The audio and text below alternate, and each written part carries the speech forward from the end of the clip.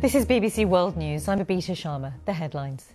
The UK's Prime Minister's top advisor, Dominic Cummings, denies doing any wrongdoing when he drove hundreds of miles to his parents' home during the lockdown.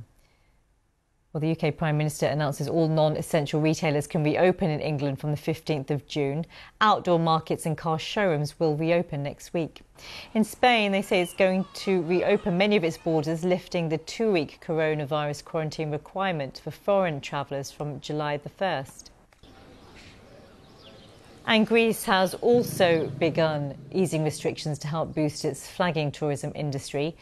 Greeks are once again able to travel freely to the country's islands.